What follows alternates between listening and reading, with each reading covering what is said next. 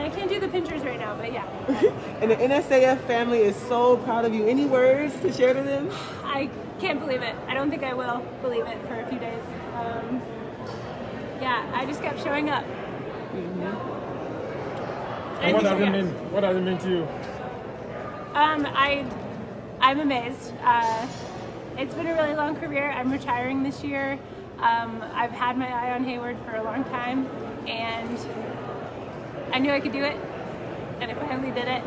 Uh, I'm super grateful to my coach, Russ Winger, my husband, and my strength coach, Jamie Myers. I have just the best support system that anyone could ever ask for, and I'm really proud of myself.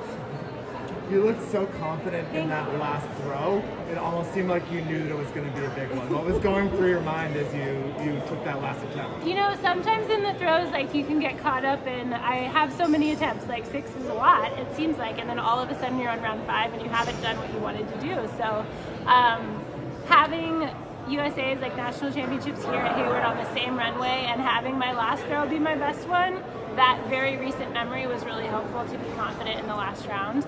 Um, you know, Kelsey dropping that 66.91 bomb, like that is fantastic for the women's javelin. It's been a little bit lower in terms of distance this year. And so um, I knew the podium was absolutely achievable and it's my absolute last opportunity to grab a medal. So, um, you know, I've thrown here a million times.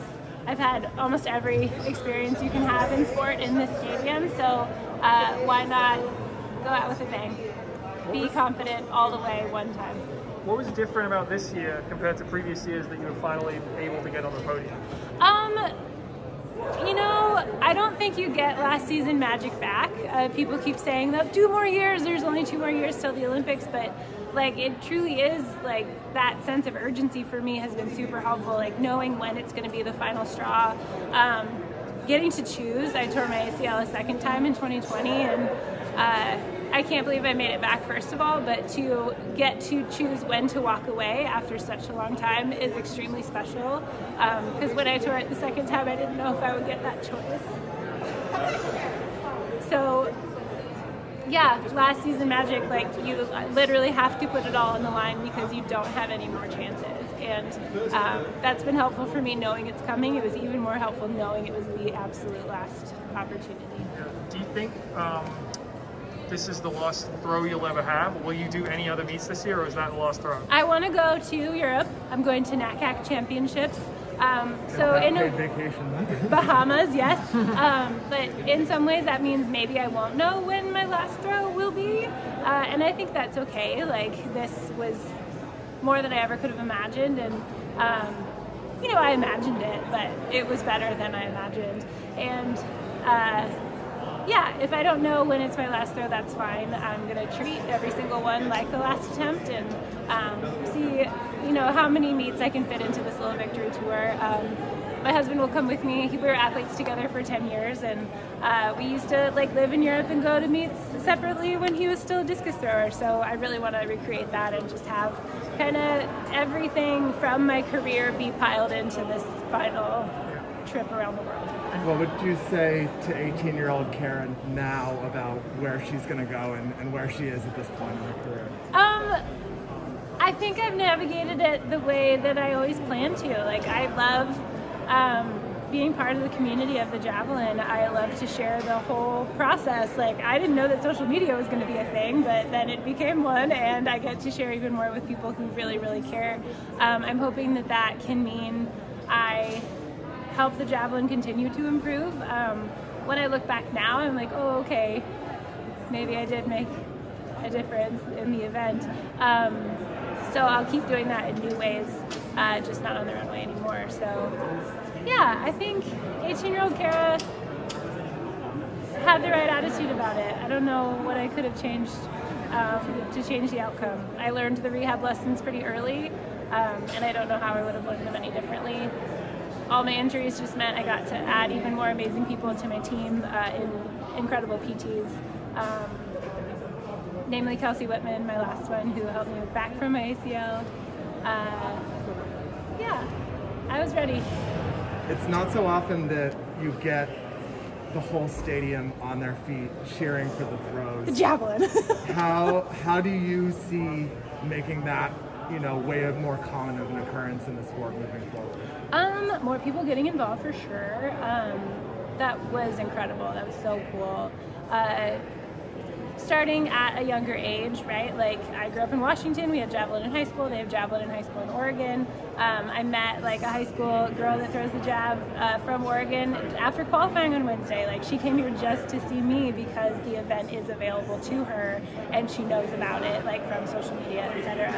Um, so more of that, like more just continuing the conversation. Uh, it absolutely helps that this happened on American soil and it's on Peacock and we can watch it like the entire thing um, and really get a sense of what drama there can be in a throwing event because that was dramatic. You're the U.S. medal in every women's throwing event. I know, right? How, how like, uh, uh, is that, given, you know, what you've witnessed over 10, 12, 15 years? Yes. So I know that Chase went home, Brooke and Janae went home already, but I got to see Val on the backstretch, like at the corner. Um, and I knew coming in that every other women's throws had medaled. So it was absolutely on my mind. Like they're incredible athletes, incredible women, um, people I absolutely look up to. And to be a part of that group is ex- extremely special. I remember Beijing 2015 World Championships, um, two women made the final in every throwing event. Um, I think Michelle medaled, but no one else did.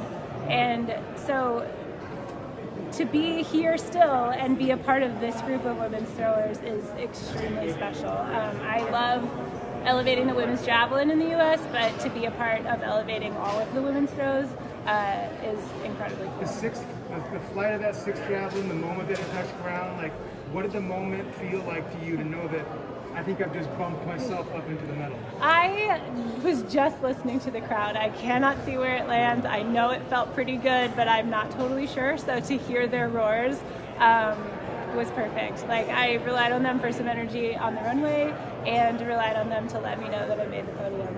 Uh, but there were two women after me that could have bumped me off again. So uh, like everyone wanted to celebrate early and I'm like we gotta we gotta chill. We gotta see what happens. And um, I was shaking the whole time that those last two women were taking their attempts. Uh, and Mackenzie Little is phenomenal PR today and she ran up and hugged me even though I'm you know the person that knocked her off the podium. So uh, again I just love the women of the javelin nationally internationally and I'll keep trying to do my best to make us all better When were the ACL tests? 2012 and 2020 And do you think you've, is this the best throwing shape you've ever been in? Or do you think you've been in better shape and you just didn't have the opportunity or you didn't, you didn't get it, you didn't medal? Know? Um, I think 2010 was still like my best physical like throwing shape. Uh, it was really my breakout season when I set my American record, um, which is still my PR. Would love to change that. I still have time. Uh, so I think technical shape, this is the best I've ever been. I didn't quite execute on that today, and that's okay. Um, the result was fine. Uh, but yeah, physically, you know, two ACL tears, a left shoulder surgery, um, a lot of different back stuff, spasms, calf things, etc. Uh, it's hard to be your physical best at 36, but I feel amazing and I'm amazed by that. Yeah. Yeah. Congratulations. Thank you Thank you. much.